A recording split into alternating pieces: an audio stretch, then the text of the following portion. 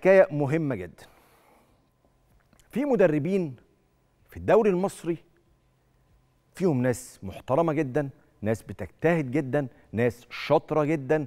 في اللي بيشتغل في ظروف صعبة في اللي بيشتغل في ظروف أسهل في اللي معاه إمكانيات في اللي معهوش إمكانيات. وفي مدربين بياخدوا وقت كبير جدا عقبال ما يتميزوا ويعملوا اسم.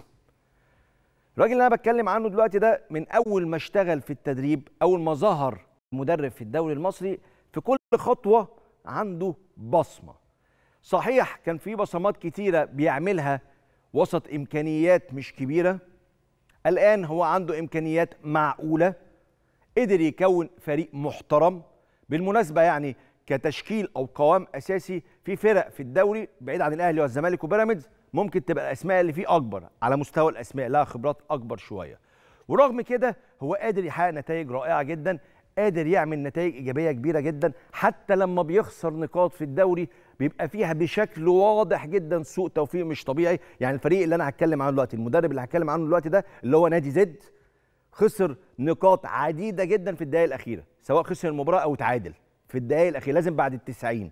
سوء حظ واضح يعني مش اللي هو المدربين اللي يقول لك إيه إحنا عندنا سوء حظ وخلاص لأ ده سوء حظ واضح. ولولا خسارة النقاط دي كان ممكن يبقى زد في صدارة الدوري دلوقتي مرتاح. بسهولة شديدة. في أول موسم ليه في الدوري الممتاز. لما بتتفرج على المباراة تحس بالشغل الفني تحس بالشغل التكتيكي. في في الدوري المصري كده ساعات لعيبة بتها وبيكسبوا لكن ده تحس بلمسة المدرب بشغل المدرب. راجل ناجح ومؤثر واسمه كبير جدا في الدوري المصري دلوقتي.